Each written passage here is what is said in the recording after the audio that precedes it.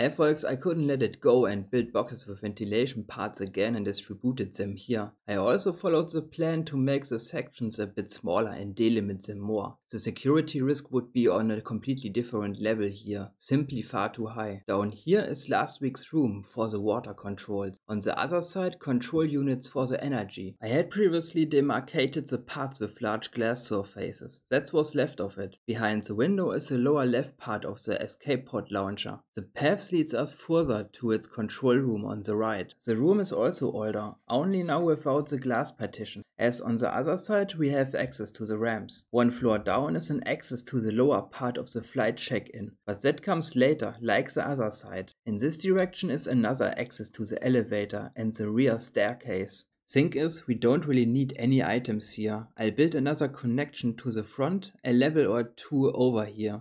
And as I said, only control units here. Then thanks for tuning in and see you in the next video.